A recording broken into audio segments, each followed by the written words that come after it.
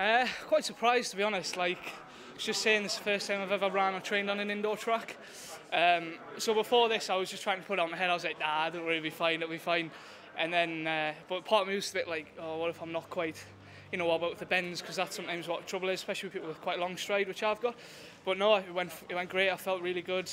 Really enjoyed it. Like the atmosphere was good. Um, and it beats running outside in the cold and wet and cross country, which is what I would do at this time of year. You say it's your, your first time competing indoors. How have you trained specifically for this? I haven't really, to be honest. I've just kept my training the same as what I would for sort of normal winter base training. Um, yeah, like I've just been keep doing long thresholds, hill running. I've been on the track once a week, but I haven't done any sort of specific work.